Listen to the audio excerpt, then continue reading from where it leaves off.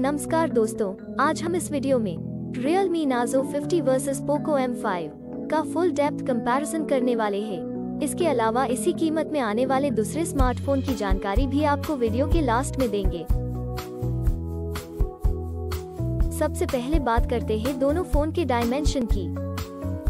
दोनों फ़ोन की लेंथ की बात करें तो नाजो 50 में 6.46 इंच जबकि पोको M5 में 6.45 इंच की लेंथ मिलती है। जो कि सेम जैसी ही है। विथ की बात करें तो नाजो 50 में 2.97 इंच जबकि पोको M5 में 2.99 इंच की विथ मिलती है।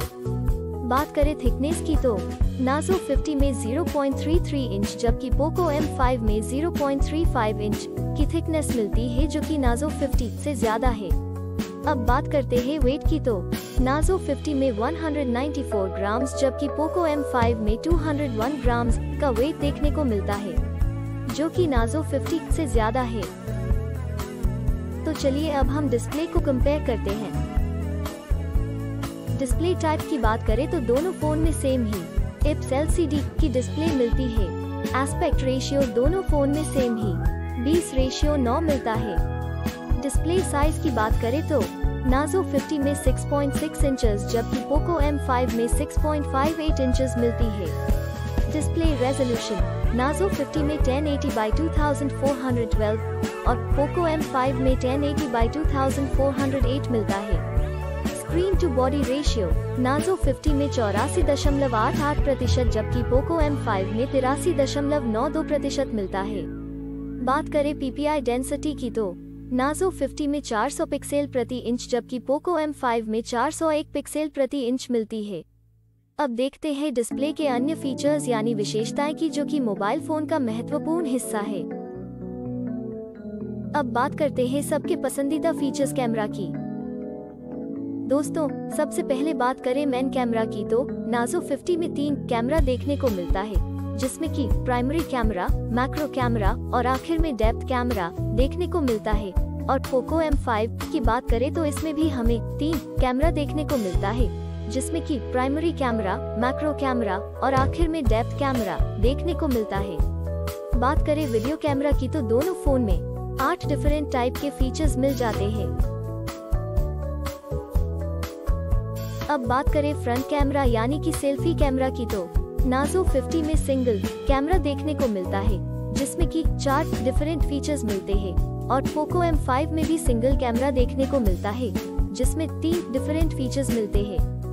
आइए अब बात करते हैं हार्डवेयर के बारे में जिसमें हम CPU, GPU, रैम की इंफॉर्मेशन देखते हैं। हार्डवेयर में सबसे पहले CPU जो कि स्पीड के हिसाब से देखा जाए तो फ़ोन में सबसे इम्पोर्टेंट पार्ट है उसकी डिटेल्स देखते हैं। जीपीयू दोनों फ़ोन में सेम ही। Mali G fifty seven M C two देखने को मिलता है।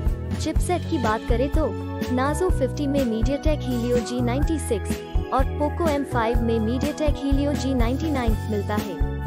बात करें रैम की तो दोनों फ़ोन में सेम ही। दो वेरिएंट देखने को मिलता है, और दोनों फ़ोन में सेम ही चार गीगाबाइट छह गीगाबाइट की रैम मिलती है। बात करें इंटरनल मेमोरी जिसको हम स्टोरेज भी कहते हैं, वो दोनों फ़ोन में सेम ही।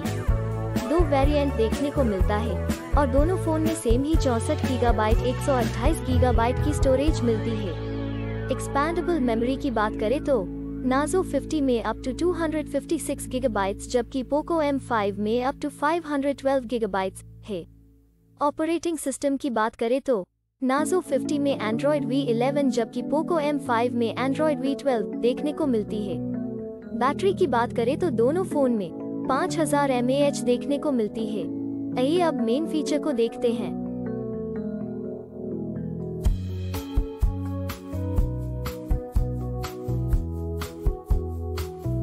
कलर्स की बात करें तो नाजो 50 में दो कलर्स जबकि पोको M5 में तीन कलर्स ऑप्शन मिलते हैं। सब इन्फॉर्मेशन देखने के बाद बात करें प्राइस की तो।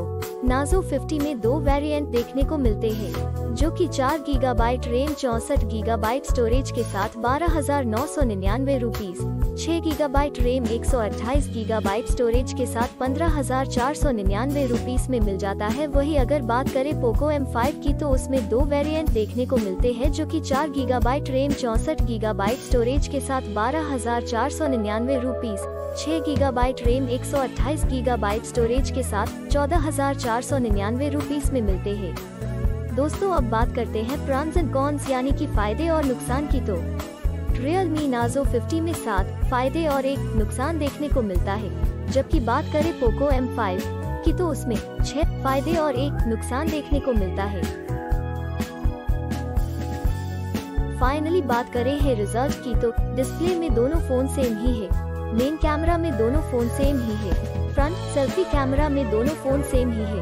परफॉर्मेंस में दोनों फ़ोन सेम ही है। दोस्तों, अब हम सेम प्राइस में आने वाले दूसरे फ़ोन को भी देख लेते हैं। पहले कॉम्पिटिटर फ़ोन की बात करें तो उसमें नोकिया जी ट्वेंटी वन है, दूसरा iQOO Z six five G है, तीसरा Samsung Galaxy F twenty three five G है और लास्ट कॉम्पिटिटर फ़ोन की बात करें तो उसमें ओप्पो ए सेवेंटी सिक्स है। और ये सारे फ़ोन की डिटेल्स आपको डिस्क्रिप्शन में मिल जाएगी। दोस्तों, अगर आपको ये वीडियो अच्छा लगा है या आपके किसी भी काम में आया है तो प्लीज़ लाइक करना मत भूलना।